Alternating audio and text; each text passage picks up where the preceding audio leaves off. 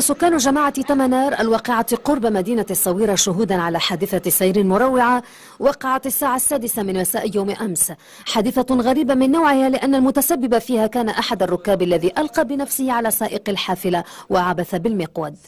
كان سائق كان صيد هي ويجي واحد من الركاب. ويجي وبدا يدور ليه القيدان ويلوح. مع الأسف واحد السيد توفى في المستعجلات. و30 منهم 20 يعني جروح بالغة و10 يعني جروح طاففه من بين هذه الجروح يعني البالغة كان هناك كسور يعني في الوريك كسور يعني على على على, على العمود الفقري وفي الرأس.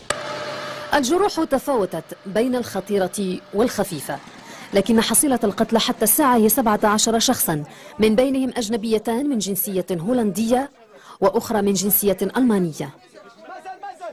12 sur place وفيهم deux au niveau centre santé تمنار وفيهم دابا 3 au niveau de l'hôpital اللي هما وصلوا توفاو داخل المستشفى الإقليمي للصويرة الحادث وقع بجماعة تمنار والحافلة كانت قادمة من مدينة أكادير على الطريق الوطنية رقم واحد ووحده التحقيق كفيل بالكشف عن أسباب الحادث.